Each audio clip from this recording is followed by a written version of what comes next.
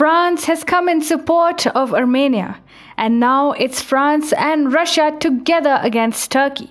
After Russian support to Armenia, France is getting involved in Armenia by showing its support to Armenia and its people. Now, with both Russia and France coming together, Turkey is further cornered and left alone. On Wednesday, during his visit to Latvia's capital Riga, French President Emmanuel Macron condemned Turkey's statement backing Azerbaijan in its military efforts to snatch the disputed region of Nagorno Karabakh, terming it to be reckless and dangerous. Macron concluded that the bellicose comments that Turkey made in the last hours, which essentially remove any inhibitions from Azerbaijan in what would be a reconquest of Nagorno Karabakh, that we will not accept.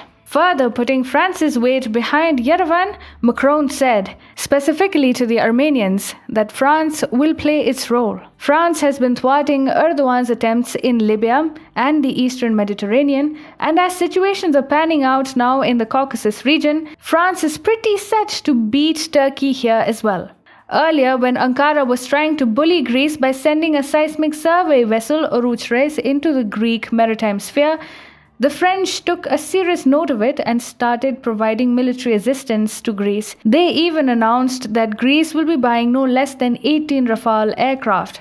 The situation escalated so fast that Ankara had to withdraw its vessel from the disputed waters, thus, Erdogan's fantasy of creating a regional sphere of influence was thwarted. Since last week, more than 100 people have died in the Nagorno Karabakh conflict, and latest updates tell us a regional war is getting out of hand. On Tuesday, Armenia's defense ministry said that a Turkish F 16 flying in support of Baku's forces has downed an Armenian Su 25 fighter jet.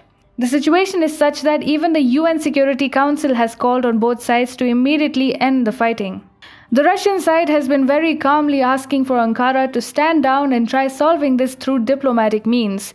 The blame for starting this conflict has been laid at the foot of Erdogan, as Macron already said. It has happened as Turkey has provided a blank check to Azerbaijan and has been continuously providing material and military support to it. With Erdogan acting like a spoiled child, the NATO members are taking a contrary view to what Turkey wants them to believe. The French president has said that he will be talking to both Putin and Trump so that a comprehensive and logical solution to the problem can be reached. The relevance of NATO has taken another dent as the two member countries are standing in different camps.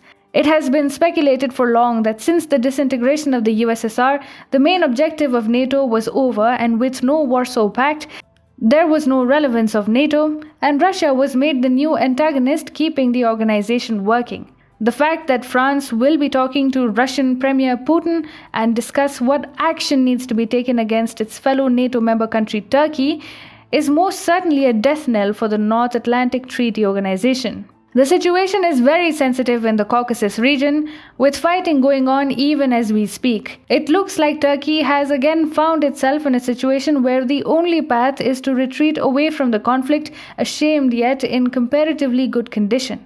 However, if Erdogan's bad decision making prevails, Ankara is up for a good pounding from both Russia and France combined.